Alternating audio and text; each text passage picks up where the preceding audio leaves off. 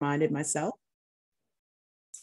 Uh, and we will have a Q&A with our guest speaker at the end of their presentation. Um, as I mentioned, the session is being recorded and we will have the recording of the session up on, the, on our website probably next week. So please feel free to uh, revisit the recording, share the recording uh, with your networks and your friends and check out our remaining two critical conversations for this semester. All right, so as we get started, I'm just going to introduce our speaker. Uh, all right, there we go. Marna Clowney Robinson is an access and information services librarian at the University of Michigan, where they work closely with librarians to help with the selection of materials for multicultural studies and social work areas. They earned an MSW with concentrations in mental health and interpersonal practice from the University of Michigan also earned their MLIS from Wayne State University, the School of Library and Information Science. Marna has also completed a fellowship at Simmons University in their Interprofessional Informationist Certificate Program and recently completed certification in the integrated, or excuse me, in integrated health through the University of Michigan's School of Social Work. And on a personal note, I had the pleasure of being on a panel with Marna over the summer for ALA's Social Responsibility Roundtable um, and was just really intrigued and just it was just wonderful to hear uh, what they were saying so i think i was in marna's inbox like the next week saying can you please come uh, and talk to class uh, in the semester and so very grateful uh, to have Marna Clowney Robinson here with us today. So I'm going to turn it over to our guest speaker now. And again, uh, we will be keeping track of your questions and answer, or excuse me, your questions in the chat box for our Q&A uh, at the end of the session. So again, welcome and so glad you're here today. Thank you so much, Dr. Cook. I really appreciate the invitation to come and speak um, with your class as well as with other professionals in the field today. I'm extremely excited to talk about um, trauma informed librarianship and bibliotherapy, which are two of the areas that are so close to my heart and that I use um, quite often. So I am going to try and share my screen so that I can. All right, I'm hoping everybody can see the screen. Yes, okay. Um, so uh, so today's agenda, what we are going to kind of dig into just a little bit, um, and I know that we don't have all day, but I could talk about this all day, I, but I won't keep you. Um, but a little bit about who I am and what I do, as well as what we know about trauma, what we know about bibliotherapy, uh, and then some information about library uh, informed practices and where libraries fit in with that intersectionality between that and bibliotherapy. Um, so a little bit about myself, as Dr. Cook shared in my introduction. Thank you again, Dr. Cook. Um, I am a librarian at the University of Michigan, where I've been um, there for quite a while. Uh, in my current role, I am an Access and Information Services librarian. Um, I am also a licensed clinical social worker, uh, where I am in private practice as well as with a social service agency. And within that role, I specialize working with um, marginalized communities um, within the realms of identity issues as well as eating disorders, among other issues. Um,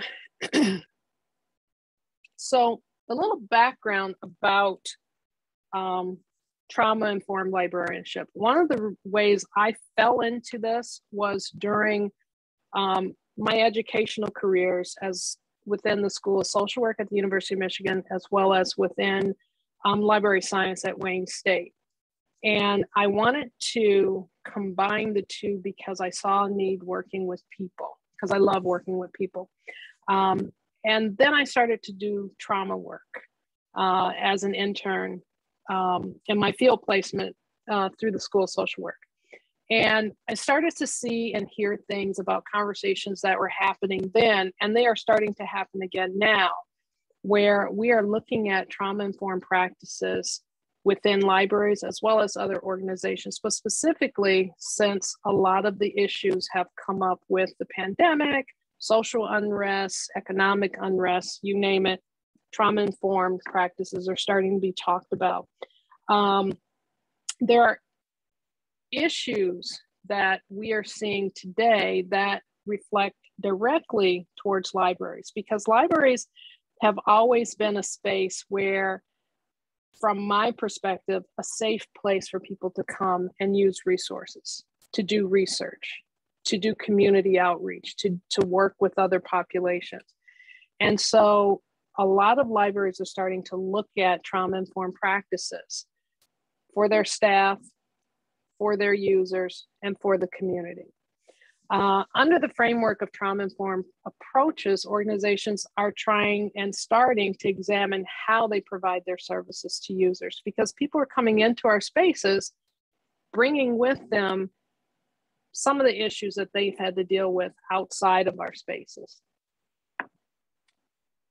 And I went the wrong way. I do. Oh, there we go. Um, and so, trauma, if we look at it, is detrimental to mental boundaries, regardless of age, gender, socioeconomic status. Um, and we see a lot of different types of trauma. Substance use, and it goes across the gamut. It doesn't affect one population more than the other. We see it in all populations. I see it as a therapist and I see it um, just as a human. Um, traumatic events challenge our public institutions as well as the service systems that we have in, in our spaces, how we interact with people, how we get information to them. We're seeing it when we work with them, work with people who come to our, our like I say, our circulation desk and they ask for books. Sometimes there's pressure on them to try and get a paper done, and then they take it out on if they are coming to us with issues, such as we don't know if people come to us with a background of trauma. And so that's what a trauma informed approach does. It understands that people may have their own issues coming into our spaces. Okay. Um, there are institutions and service systems that are designed to provide individuals with support and services, and sometimes they can be traumatizing. And I say that thinking about as we start to think about these things, we have to look at what our policies are doing. Um, there are a lot of um, policies that libraries, organizations, and other institutions have that may be traumatizing to people. Now, and when I say trauma, I know we be at a meeting of, at four and I forgot. I better sign into oh, it now. okay. Oh, I can hear somebody yeah, else. Um,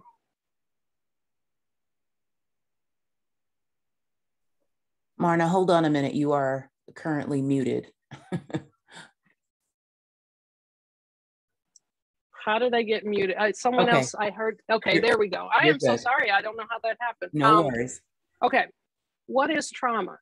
Trauma is a word that when we hear it, we often think of someone who has been through a traumatic event, such as being attacked, being in a war, being, you know, have car accident, those are all forms of trauma. But there's there's emotional and there's physical trauma.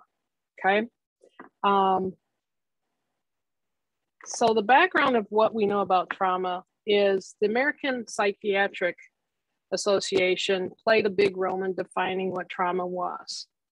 And one of the things that I use um, in my practice every day, and we call it our therapist Bible. It's called the DSM 5 or the Diagnostic and Statistical Manual of Mental Disorders. And basically, it lines up what trauma is. And there's different forms of trauma. Um, there are different categories of trauma.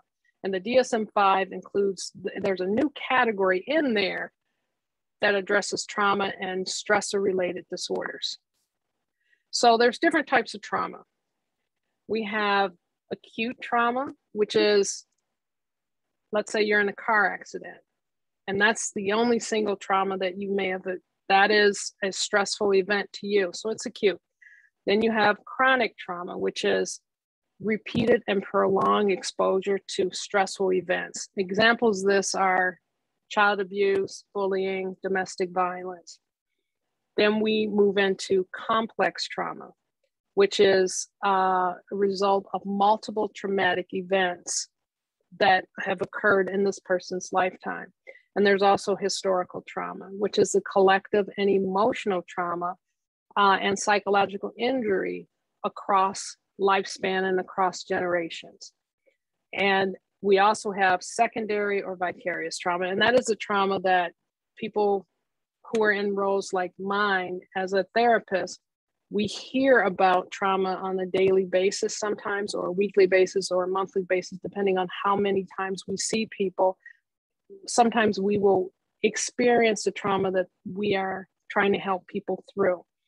Um, one of the things that we have seen, um, researchers have seen with trauma is, particularly if we look at historical trauma, um, what we do and what I do as a therapist, whenever I work with someone, I, I go with what we call ACEs, which is a score from a, a, a, an assessment that tells us how much trauma someone is exposed to and there's trauma across the lifespan. Did you have two parents growing up in the household? Was there domestic violence in the household? And these are all based on when you're a kid and as you grow up. And what we know about traumas, um, that trauma is handed down generation after generation as generation.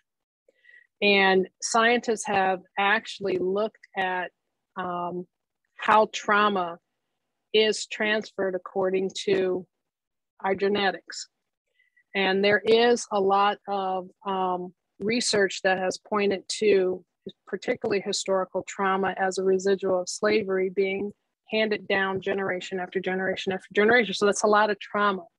So these are some of the different types of trauma that people may be walking around with. Now, some people may have never had trauma or admitted that they've had trauma. But we're seeing a lot of trauma coming through not just our doors, but within our communities. Uh, let's see.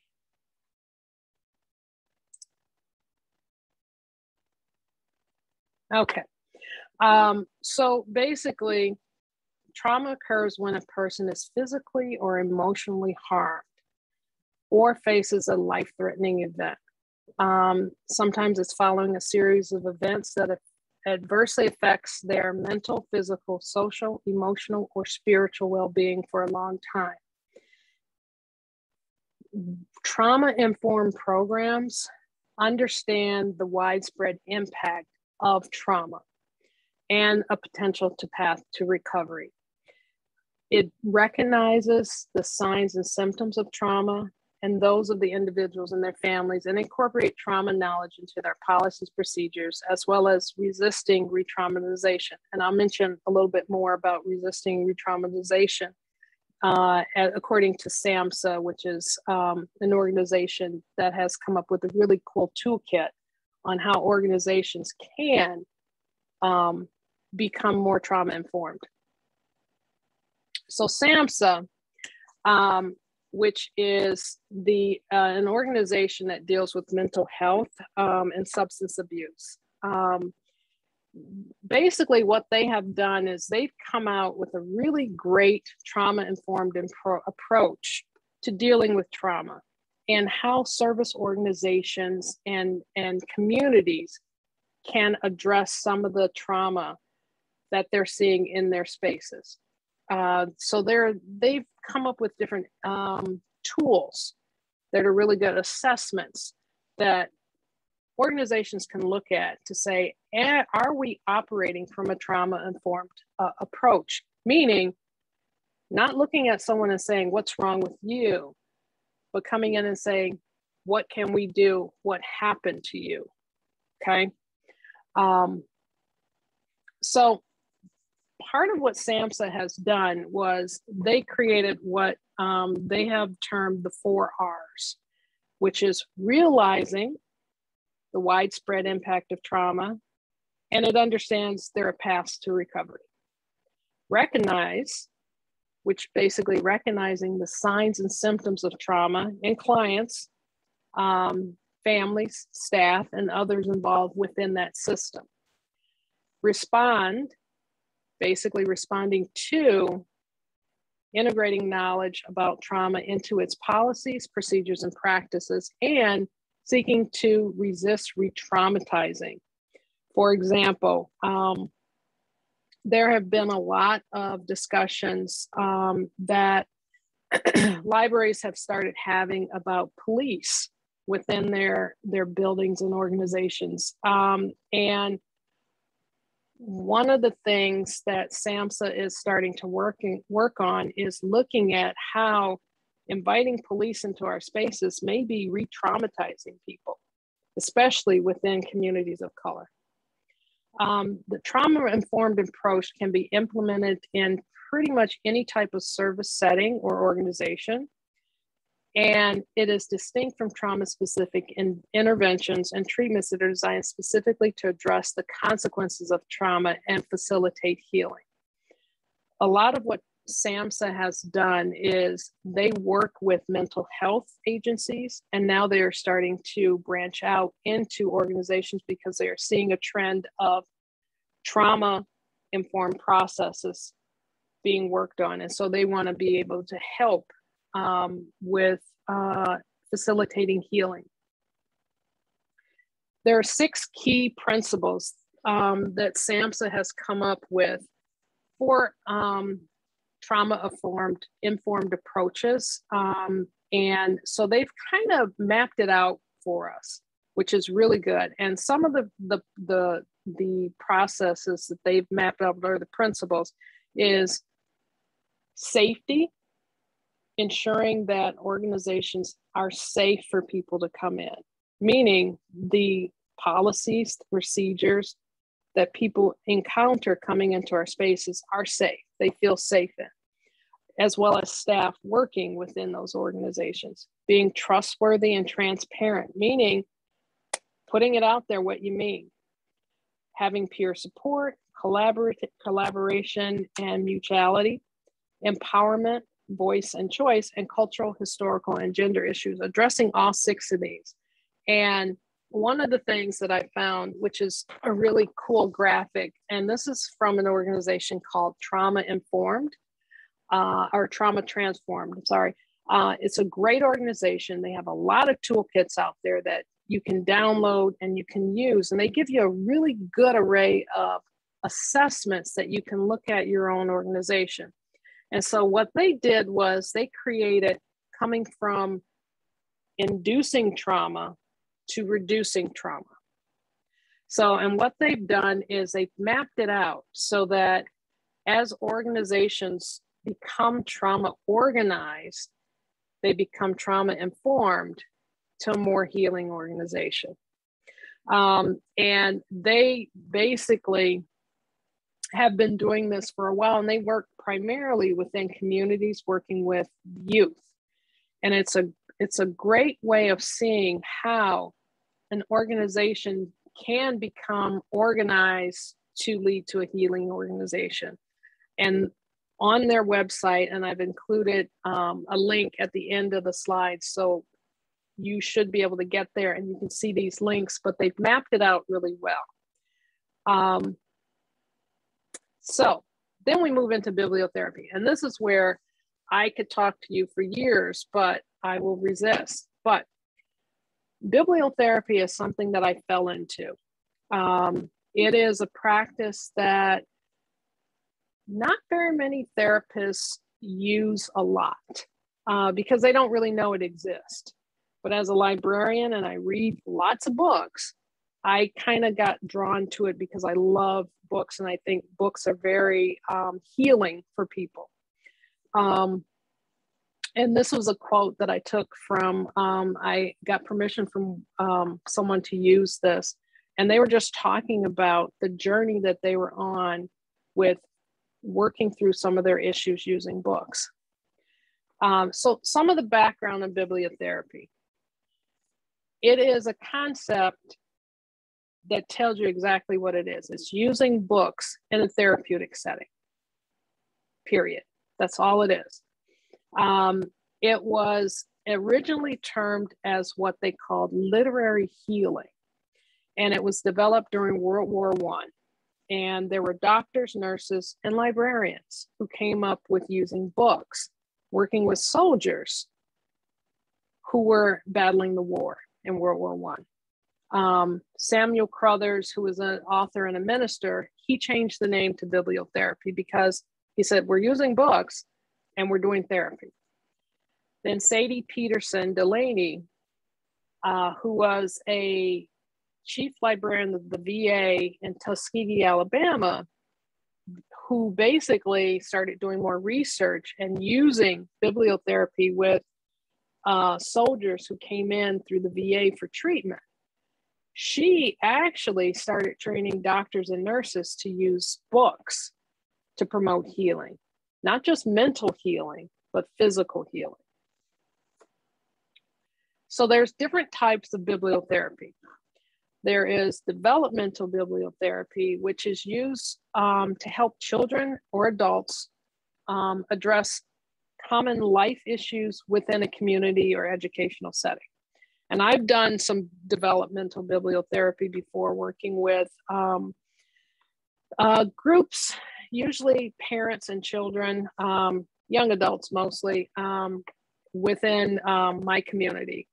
And it is a very, it's a good type of bibliotherapy, I will say. It's not my favorite. I like one-on-one, but this works because what what happens is the families get together, they share a book, they talk about it. Sometimes they will throw the book at the other person depending on what we're talking about. So, but uh, it's a great tool. What I do is clinical therapeutic bibliotherapy, which basically involves using books in therapy to treat emotional disorders, alleviate negative life effects of an emotional, mental, or physical disorder. And it's often used in conjunction with other psychological treatment and sometimes medical treatments. Um, and I use uh, clinical bibliotherapy the most, and I love it. Um, and it is a way of just taking a book and choosing the right book for that client, for that individual. Um, and I, I always will tell people when they ask me, how do you choose the book for the person? And I don't know if anybody is a Harry Potter fan like I am, but there's a scene in Harry Potter where um, Harry is picking his wand for the first time. And the, the man behind the counter, the shopkeeper says, the wand picks the wizard. And I, I kind of feel like the guy behind the counter when I find a book for for someone I'm working with to work through some of those issues.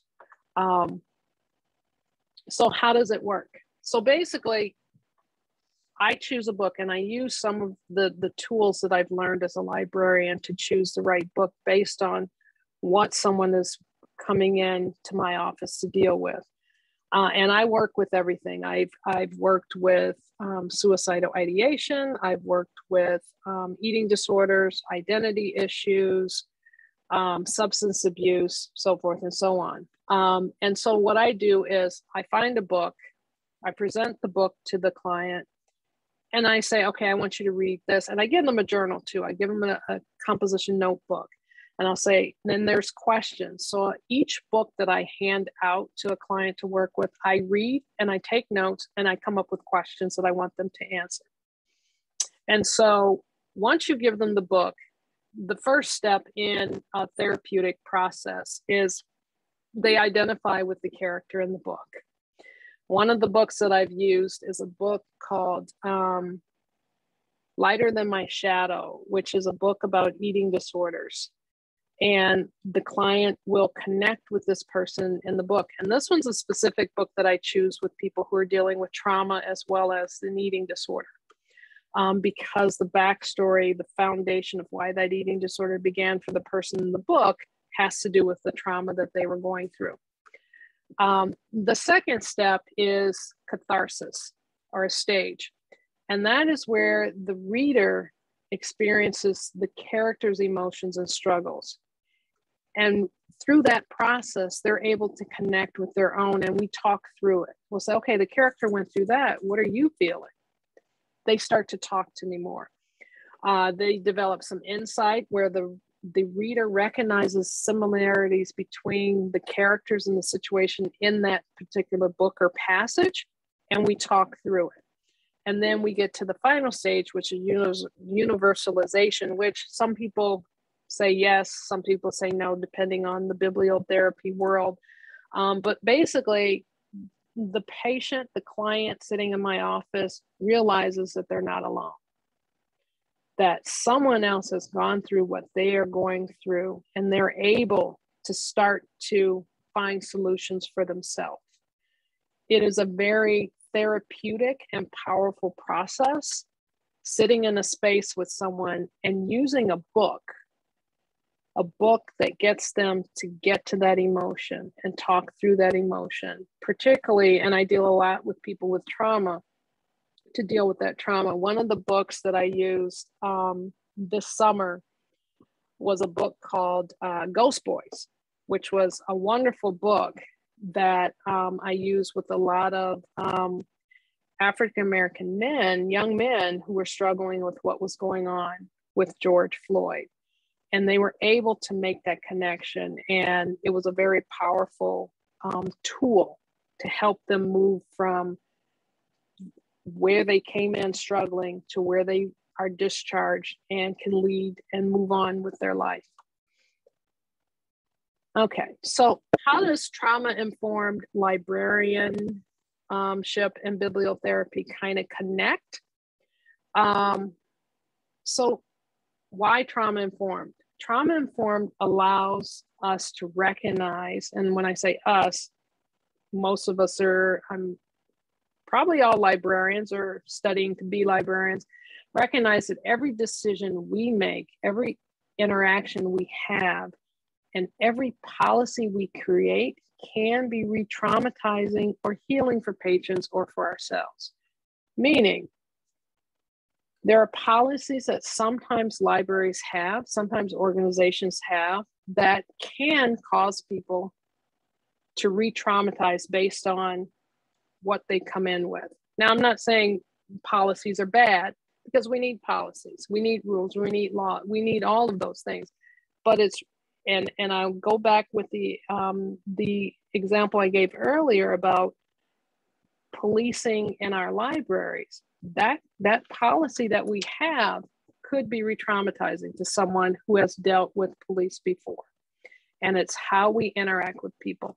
Um, librarians can help by having policies that support the four r's which is realization recognition recognizing responding and resisting re-traumatization.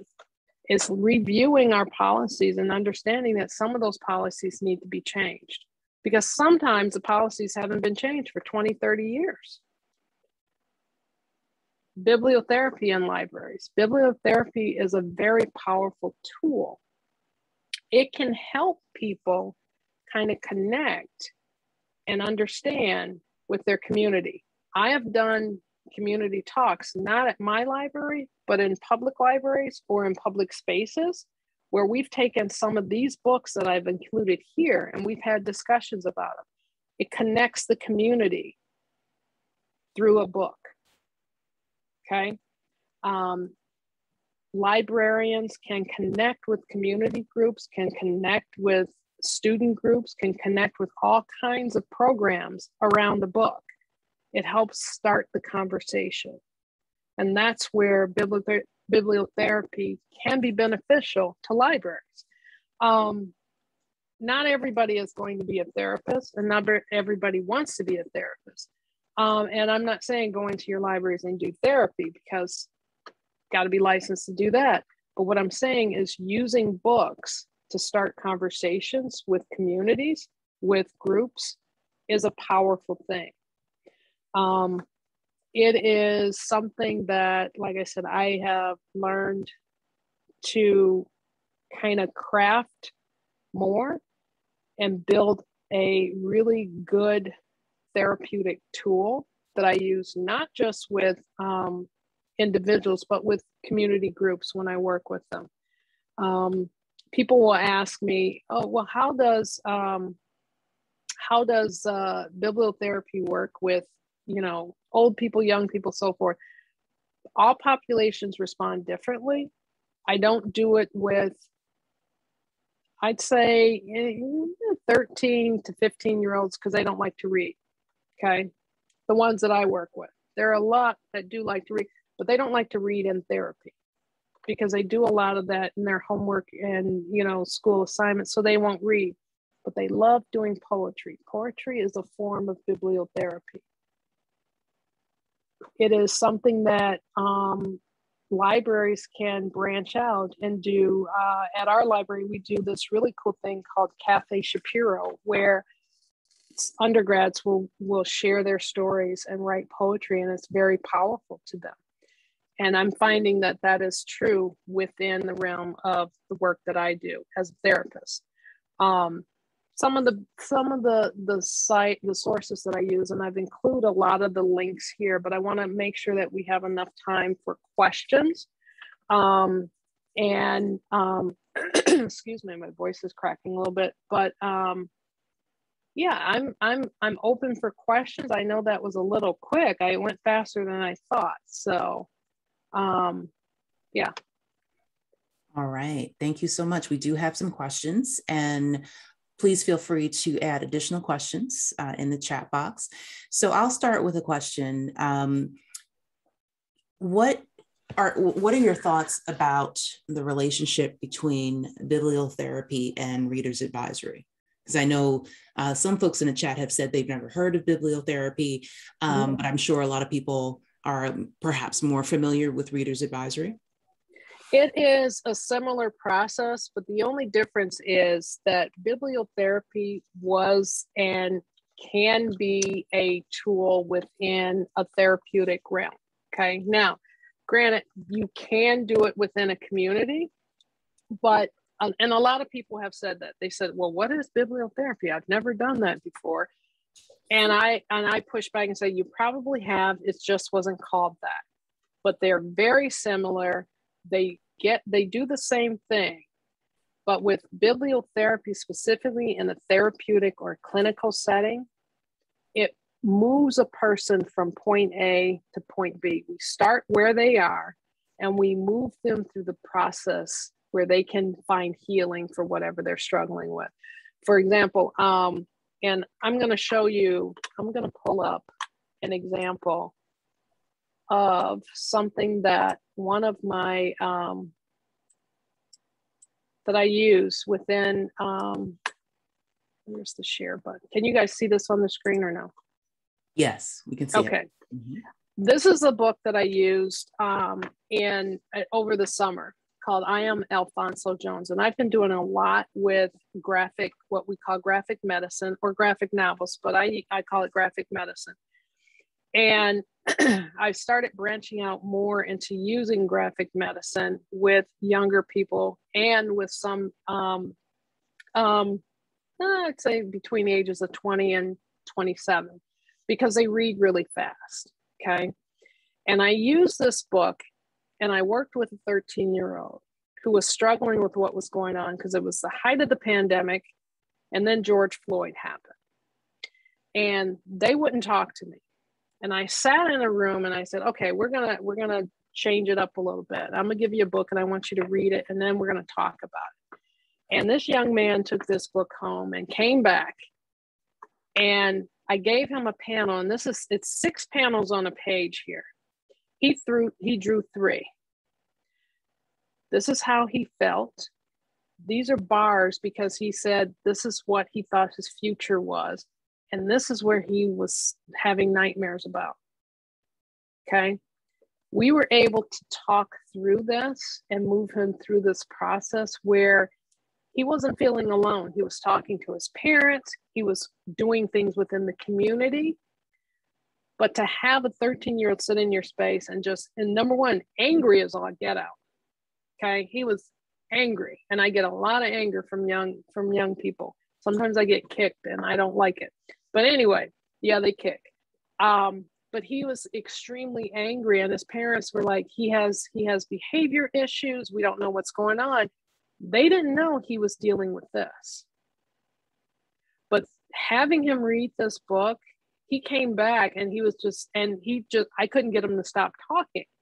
But he was able to open up and tell me what he was feeling and sometimes with a 13 year old and i see it a lot especially with um, young men not all but some they have all of these emotions where they just can't tell you what they're feeling.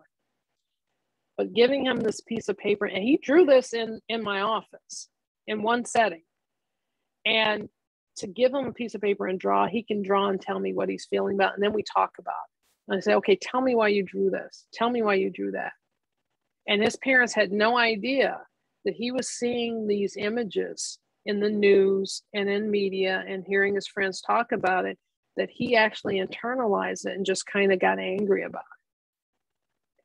So it's a very, it's a very therapeutic process that um, um, it's, it is, um, for me, it is one of the biggest tools that I use in a therapeutic process with someone. Thank you. That's really mm-hmm. powerful. Mm-hmm. Yeah. Um, so you mentioned, um, now I'm going to start the questions from our audience. And okay. uh, you had mentioned uh, at the top of your talk that you kind of just fell into bibliotherapy. And someone wanted to know uh, if you could talk a little bit more about how you got into it, how uh, you developed um, your expertise in the area? Sure, sure. Um, I was doing some research when I was in library school, and uh, they give you these assignments where they say, "Okay, find someone that you you know want to connect with." And I discovered the um, the librarian who was doing the work in bibliotherapy at the VA, and it intrigued me. And I just thought, okay, I'm going to be a librarian, and I'm going to um, be a therapist at some point in my life and I don't know what I'm going to do. And when I was in my field placement in, in, in social work, when you're doing clinical social work, what you have to do is before you graduate, you have to do what they call your clinical hours, which they place you in an organization and you actually just do therapy. Or you do, depending on if you are macro or micro, individual or group and I chose the the individual level. And um, I had a young man um, who was assigned to me, and I didn't I I didn't know what I was doing.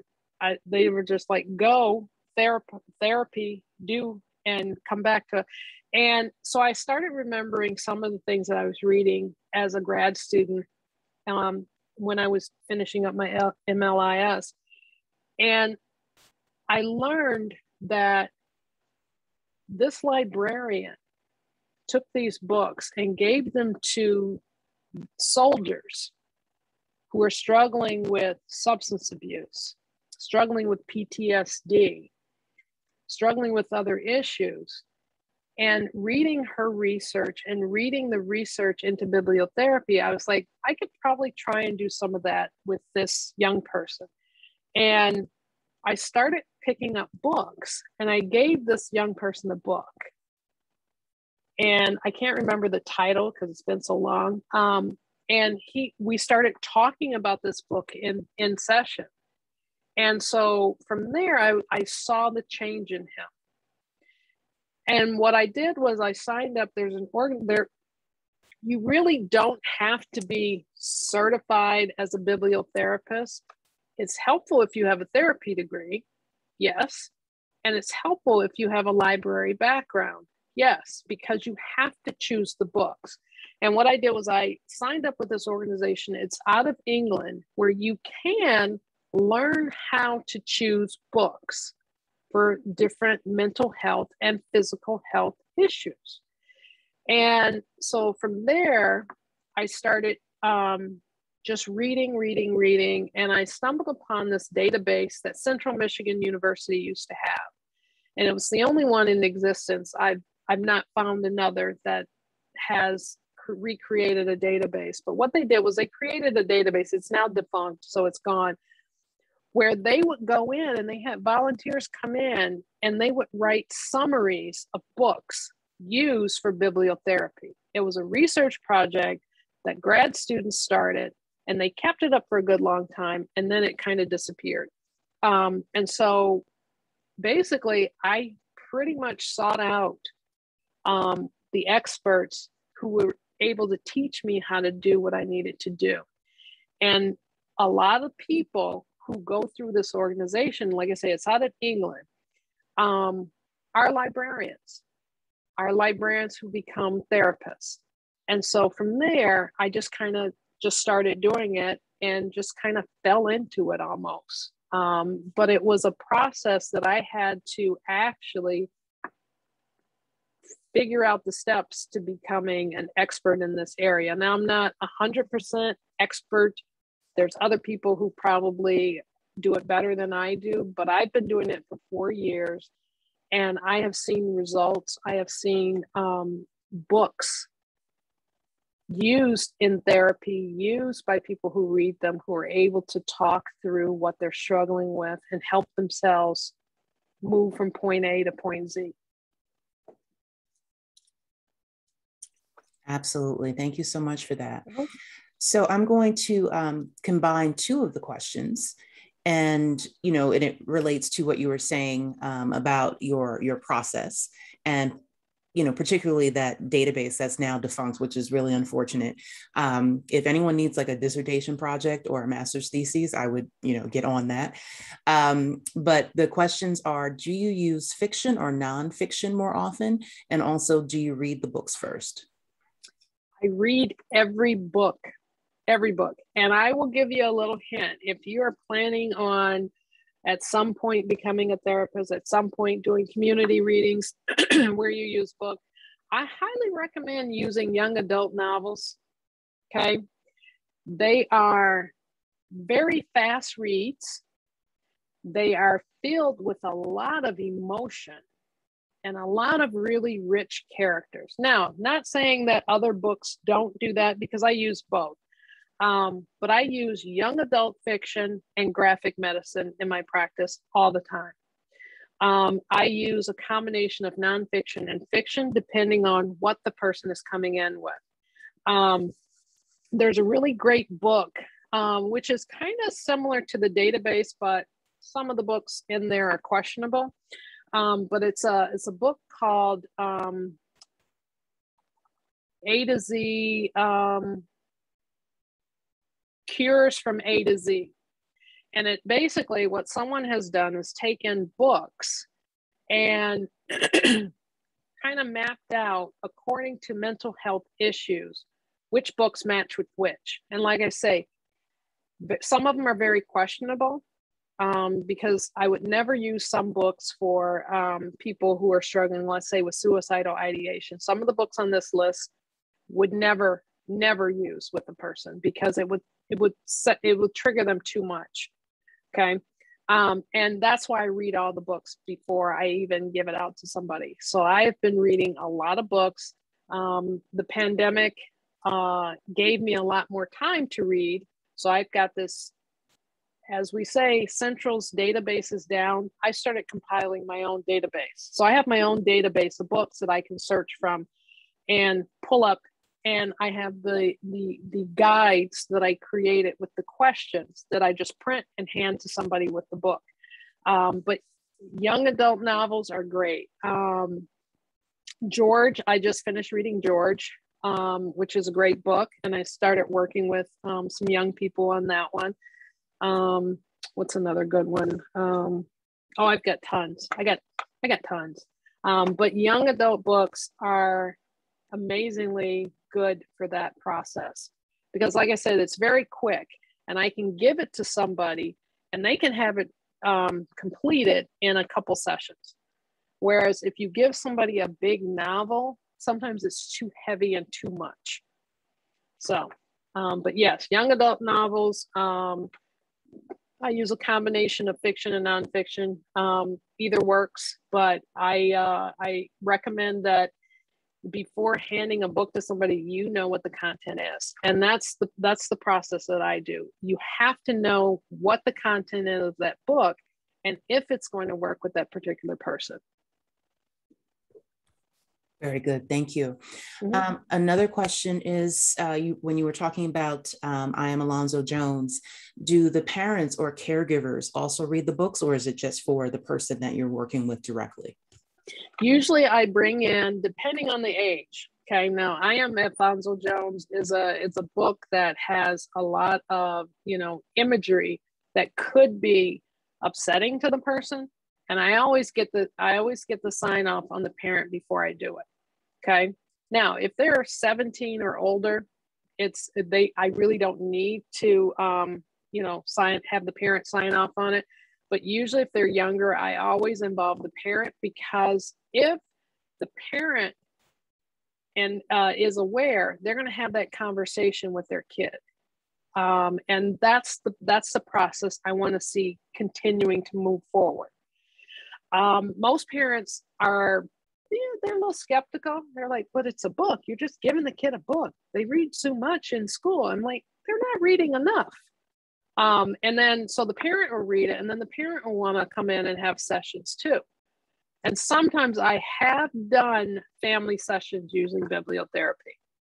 I really have. And it is, um, like I said, doing groups, um, bibliotherapy is for me, not my favorite because, like I say, um, the last time I did a session with bibliotherapy on a family, it was a family that was kind of dysfunctional and falling apart.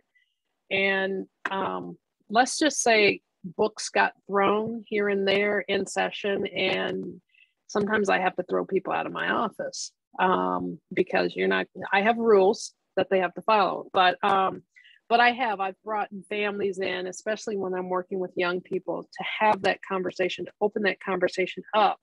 And they're able to continue that conversation at home, which is great. Absolutely. Thank you. So let's see.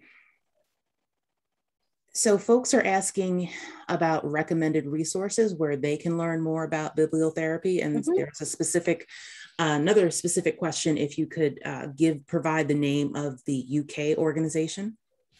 I can, and I, as I look it up, I will talk through it. Um, I'm just trying to think, mm-hmm. trying to find it. It's on my, it's on my desktop somewhere. Let me, let me stop sharing. There we go. That's better. Um, the organization in the UK is called I'm sorry, Dr. Cooke, what was the second part of that question? And just resources in general, uh, where okay. people can learn more. Yeah, there is a great book um, called Bibliotherapy. Um, it is a wonderful book. Um, the American Library Association also has a page on bibliotherapy, which gives you links to um, educational projects, children's literature, and the, the foundation is called the International Federation for Biblio slash Poetry Therapy. That's the that's the UK organization. Um, and basically it is um, like I say, it's a really interesting organization because when you sign up, they send you this this link, and I'm going to share my screen so I can show you guys what I'm talking about. Um, so here it is, the International Federation for Biblio slash Poetry Therapy. And basically, they say you can get credentialed as a poetry therapist or poetry facilitator. And basically, you just sign up. They send you this um, like a two page uh, kind of an assessment, and then you can start the process. Then they send you a syllabus of like things that you have to read, things that you have to do, kind of like you're taking the class. And anyone can sign up. Um, sometimes you can find that they'll say, Well, are you a librarian or are you a therapist? Anyone can do it. Um, and it's actually a really good thing. What happens is after you go through their program, then they they connect you with a professional who does bibliotherapy and it's kind of like you're shadowing them and you're actually doing some of the um, some of the stuff that you need to do as a bibliotherapist um, and the ala website is here which they provide with a lot of other resources on bibliotherapy which is really good so um, but yeah this is the uh, organization that i um, signed up for and started. Uh, I think the the packet they send you costs like 20 bucks and you get a PDF of it, which is it's just a syllabus with all of the stuff that you need. So which is pretty good.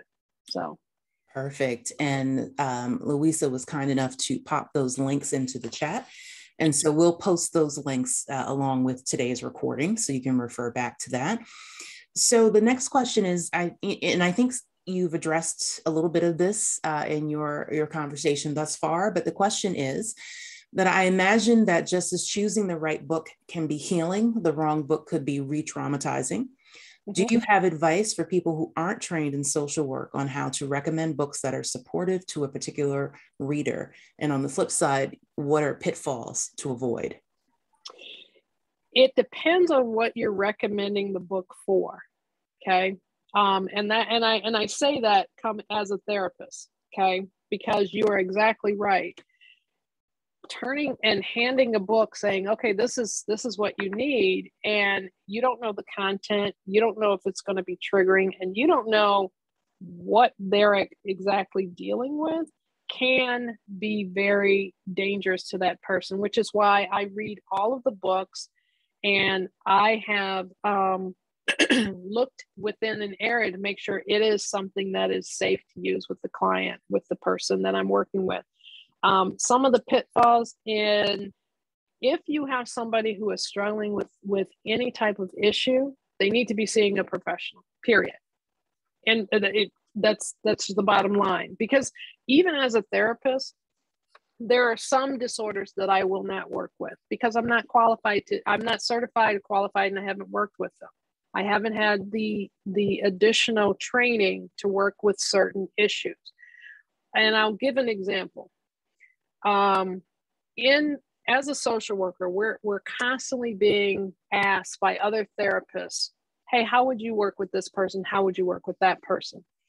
Um, and I had someone ask me once. They they had a, a client with um, what they suspected was an eating disorder and the first thing I said was, you need to get them to an eating disorder specialist. They were like, well, why? I'm a therapist. I said, but have you worked with eating disorders before? And they said, well, no. I said, well, what's the first thing you're going to do when you have this person in your office? Well, I don't know. I'm just going to ask them what they eat. I said, you're you're going to set them up to fail and they need to see an eating disorder specialist because with eating disorders it's a complex treatment process that you have to go through I am I am a specialist in that area because I've gone through all of the training that I needed to go through to become that type of therapist. Um, and it's the same thing with books. If you have someone who is struggling, always direct them to the resources that they need. It's just like, you know, trauma informed practices within, let's say, libraries, because we're all librarians you are not going to do therapy with somebody coming into your spaces. You're going to refer them to resources that's going to help them. You can be a trauma informed organization, but you can't provide therapy unless you have the tools to be able to do that.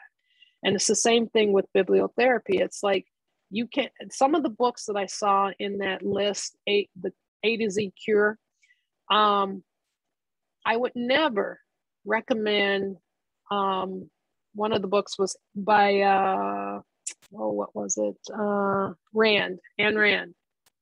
I would never recommend that book to somebody who was depressed. Okay, it is not a book that someone with with with major depressive disorder should be reading because it's very triggering and it's going to send them down a deeper hole. Okay. Um, most people love books because like i said they're very they're very enjoyable they take us to places where we may have never been before okay they take us to other worlds that probably really don't exist except for on the pages of a book. Books are very powerful tools that using bibliotherapy can work, but you gotta have the tools and you gotta have the expertise to be able to do it right. It's just like I'm not gonna tell people I'm a brain surgeon. It's not gonna work because I've never done it. Um, and that that's the biggest pitfall is I have worked with a lot of people that said, well, such and such told me to read this book and I read it and now I'm worse than I was before. And I said, well, your first problem is you read the book. They meant well, but that's not the book for you. So um, that's that's the biggest is understanding where our limitations are. Sometimes we just the the thing to do to help people is just point them in the right direction for resources. That's it. Absolutely. So we have time for uh, one last question, and uh, someone wants to know if you are aware of whole person librarianship which is a social work approach to library service, and what your thoughts are about perhaps the differences uh, between the, the, two approaches or similarities, uh, differences, etc. I am very familiar with whole person, and I I am a a a supporter of the whole person um, approach. I was actually interviewed for the book that um, the two authors um, came out with not too long ago. Um, it is a process that looks at not just one subset, but looking at the whole person of how all the systems work together. And I'll give you a really good example. When I was uh, a uh, a grad student, I was at Michigan State. I know I said Michigan State. Um, um, I was in working uh, as an intern in their residence halls. What Michigan State has done with their residence hall is they've taken this whole person approach where everyone from the cleaning staff to the cooking staff to the advisors they have all been trained on how to recognize when a student's in trouble and how to get that student through the system so that they are a success. And that was their goal and it's a very i mean it's a very complex system that they have developed there. Um, i'm not sure where it's at today because i haven't i mean it's been years since i've been um, an intern but it's kind of similar to the whole person approach. Is understanding that people are complex and they come to us they're different. People have different foundations that we all grew up with. We were all um, set on our path to adulthood but based on different foundations and the whole person approach um, that I am just so excited about is it looks at, it includes a trauma informed approach. And it understands that people come into our spaces with their own things. We come in to work in our spaces with our own things. And it's understanding that let's say, and I'm at an academic institution, we have this undergrad who comes in, let's say they start and they're brand new.